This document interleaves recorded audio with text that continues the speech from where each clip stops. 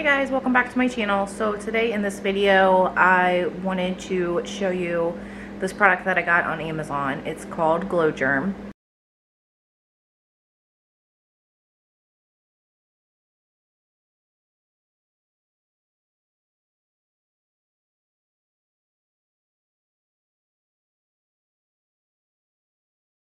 And it's a germ simulator that you put on your hands and then you wash your hands with soap and water afterwards and it'll show you how well you do or don't wash your hands.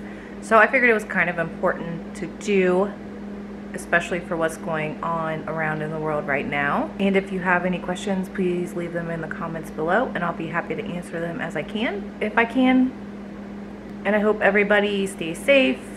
Please wash your hands, please listen to the professionals, and please don't panic and save some toilet paper for the rest of us. We're all gonna need it.